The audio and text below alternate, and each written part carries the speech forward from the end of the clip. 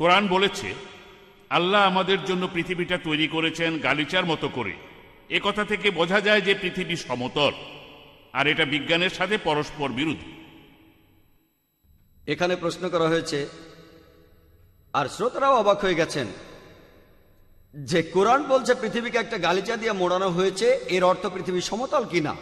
এখানে আসলে পবিত্র কোরআনের একটা আয়াতের কথা বলা হচ্ছে, সুরা নুহের উনিশ নম্বর আয়াত আর বিশ নম্বর আয়াতে উল্লেখ করা হচ্ছে যে আল্লাহ ভূমিকে বিস্তৃত করিয়াছেন একটি গালিচার মতো।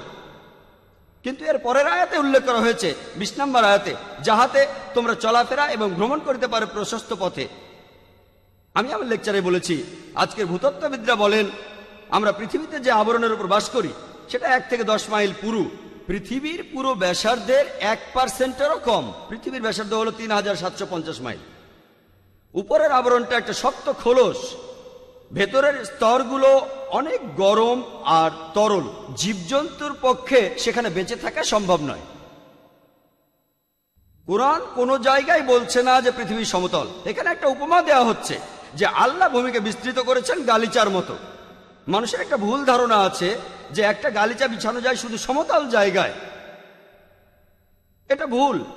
একটা গালিচা বর্তুলাকার জায়গায় তো বিছানো যায়। উদাহরণস্বরূপ চিন্তা করেন যে এখানে পৃথিবী এক বড় মডেল রাখা হয়েছে গ্লোব। মনে করেন দশ ফুট ব্যাসার্ধের, খুবই বড়। এর চারপাশে আপনি একটা গালিচা মুড়ে দিতে পারেন। এটা সম্ভব। কারণ আমরা কোথাও গালিচা বিছাই, কখন?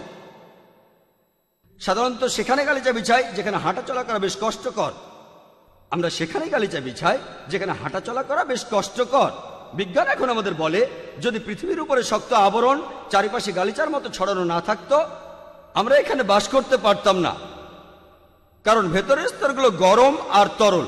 তাই কোরআন যখন বলছে, ভূমিকে বিস্তৃত করা হয়েছে, বলা হচ্ছে পৃথিবীর উপরের আবরণ গালিচার মতো ছড়ানো হয়েছে আর কারণও বলা হয়েছে, যাতে তোমরা চলাফেরা ও ভ্রমণ করতে পারো প্রশস্ত পথে।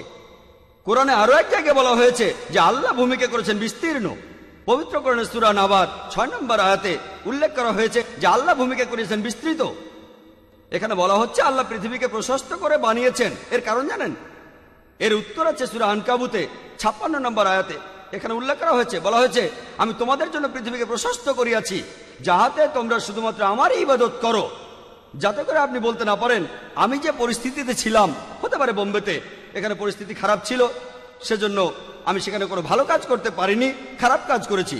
আল্লাহ বলছেন, পৃথিবী তোমাদের জন্য প্রশস্ত আর বিস্তৃত, অনেক জায়গা আছে, খারাপ কাজের জন্য আপনি কোনো অজুহাত দেখাতে পারবেন না। পরিস্থিতি দোহা দিতে পারবেন না। সেজন্য শুধু আল্লাহ সোমানো তালার ইবাদত করুন। পবিত্রকরণে এমন কোনো আয়াত নেই যেটা বলছে পৃথিবীর সমতল। আসলে আমি আমার লেকচারও বলেছি পবিত্রকরণে সুরা লুকমানের উনত্রিশ নম্বর আয়াতে আছে আর সুরা জুমারের পাঁচ নম্বর আয়াতে বলা হয়েছে পৃথিবী আসলে বর্তুলাকার। আর বিশেষ করে সুরা নাজিয়াতের ৩০ নম্বর আয়াতে বলা হয়েছে ইহার পর তিনি পৃথিবীকে করিয়াছেন ডিম্বাকৃত অনেকটা উটপাখির ডিমের মতো যে আকারটা একেবারে বর্তুলাকার। আশা করি উত্তরটা পেয়েছেন।